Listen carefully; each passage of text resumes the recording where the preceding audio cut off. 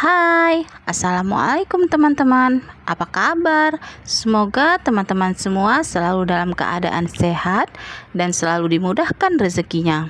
Amin, amin ya robbal alamin. Oke teman-teman, kali ini tuh aku mau masak yang seger-seger Yang sehat-sehat. Masakan kali ini itu adalah salah satu masakan favoritku di rumah. Karena cara masaknya ini termasuk uh, simple banget dan untuk bahan-bahannya juga sangat ekonomis. Gak harus orang dewasa, anak-anak juga suka banget dengan resepku kali ini. Oke teman-teman, gak perlu berlama-lama, langsung aja yuk kita lihat proses dan cara buatnya. Mari kita masak. Oke, ini aku sudah siapkan sawi putih. Kurang lebih ini sekitar 500 gram atau setengah kilo atau boleh terserah dengan teman-teman semua. Sesuaikan aja dengan anggota keluarga teman-teman di rumah ya. Nah, untuk cara potongnya, aku tuh potong kecil-kecil atau tipis-tipis seperti ini, enggak terlalu besar-besar banget. Lanjut di sini sawinya kita potong sampai habis atau sampai selesai. Oke, kira-kira udah selesai potong sawinya, kita sisihkan terlebih dulu. Lanjut di sini aku siapkan dua batang wortel. Nah, untuk wortelnya itu aku potong-potong seperti ini. Pokoknya untuk pemotongan sayurnya ini boleh teman-teman sesuaikan dengan selera masing-masing ya. Nggak perlu berlama-lama. Untuk wortelnya juga udah siap kita iris-iris kalau udah seperti ini boleh teman-teman sisihkan juga. Nah ini untuk wortel dan sawinya. Tadi udah aku cuci dengan bersih ya teman-teman. Lanjut setelah kita tinggalkan wortel dan sawinya nah di sini aku juga udah siapkan satu bungkus bakso. Nah untuk baksonya ini kita belah tiga seperti ini. Nah ini untuk harga bakso satu bungkus seperti ini tuh Rp6.000 kalau di tempat teman-teman kira-kira harganya berapa ya? Untuk pemotongan baksonya udah selesai ini juga akan aku sisihkan terlebih dulu. Lanjut di sini akan kita siapkan untuk bumbu yang akan kita iris. Nah ini untuk bumbunya nggak perlu ada yang dihaluskan ya teman-teman. Karena ini juga untuk para bocil Jadi aku enggak terlalu banyak pakai cabai Takutnya nanti bocil-bocil enggak bisa makan. Jadi kalau teman-teman uh, suka pedas Boleh teman-teman tambahkan sendiri cabai rawitnya ya Oke, di sini aku udah siapkan cabai hijau. Nah, ini untuk cabai hijaunya aku iris-iris. Aku iris-iris memanjang seperti ini. Jika udah selesai cabai hijaunya, lanjut di sini aku akan iris-iris bawang merah. Untuk bawang merahnya ini tadi aku pakai berapa ya? Kira-kira itu 4 atau 5 siung gitu ya. Nah, kalau eh, teman-teman uh, suka bawang merahnya dibanyakin juga boleh. Kalau aku lebih banyakin bawang putihnya ya teman-teman. Entah kenapa itu aku selalu masak itu lebih dominan dengan bawang putih.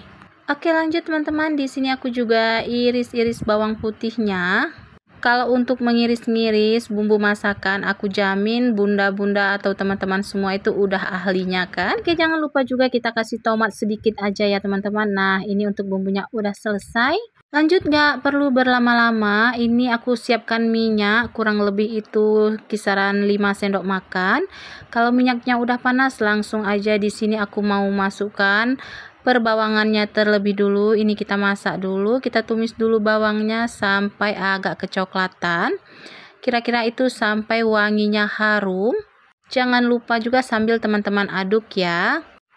Nah ini bawang putih dan bawang merahnya udah harum banget dan warnanya juga sudah sedikit berubah kecoklatan. Lanjut kalau udah berubah kecoklatan seperti ini aku masukkan cabai hijau dan tomatnya sekaligus. Ini kita tumis dulu sebentar kita aduk-aduk sampai semuanya tercampur dengan rata kalau kira-kira bumbunya ini udah layu, langsung aja di sini aku mau masukkan wortel. Karena wortel ini agak keras ya teman-teman, jadi kita masukkan wortel terlebih dulu. Jangan lupa di sini teman-teman juga kasih sedikit air biar nanti wortelnya itu bisa cepat mateng ya. Airnya udah masuk, eh, kita biarkan terlebih dulu sampai mendidih, sampai wortelnya itu sedikit mateng, setengah mateng gitu. Oke teman-teman ini wortelnya udah mateng, udah setengah mateng gitu. Jadi di sini langsung aja kita masukkan baksonya. Sambil diaduk-aduk, lanjut di sini aku mau masukkan sawi putih. Untuk sawi putihnya ini udah aku cuci dengan bersih ya teman-teman. Sebelum dicuci juga udah aku rendam pakai air garam. Jangan lupa sambil teman-teman aduk biar semuanya tercampur dengan rata. Hampir aja aku kelupaan di sini teman-teman, aku belum kasih garam. Lanjut aja di sini aku langsung kasih garam, penyedap rasa, gula secukupnya.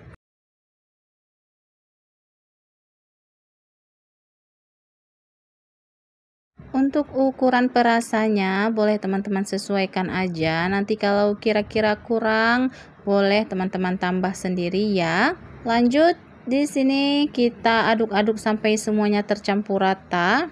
Sampai nanti sawinya ini agak sedikit layu ya teman-teman. Tapi kalau menurut aku untuk sawi ini nggak usah terlalu mateng. Karena nanti kalau terlalu mateng itu jadinya kan terlalu lembek banget jadi masakan kita itu kurang sedap. Dia kalau sawinya itu agak krenyes-krenyes itu lebih mantap teman-teman. Oke ini kita tunggu beberapa menit lagi sampai mendidih aja. Nah ini udah mendidih. Kita aduk-aduk sebentar lagi. Satu dua kali kita aduk. Dan ini udah kelihatan matengnya. Langsung aja di sini kita matikan apinya tapi sebelum kita matikan apinya boleh kita cicip-cicip dulu apa rasanya udah pas atau belum kalau rasanya udah pas langsung aja kita matikan apinya dan langsung kita uh, sajikan di piring saji Oke, masakan kita hari ini selesai. Tumis sawi wortel ditambah bakso. Ini pasti rasanya sedap banget. Aku jamin anak-anak suka banget sama masakan kali ini. Lain rasanya juga enggak pedas. Biasanya tuh anak-anak paling suka wortel dan bakso.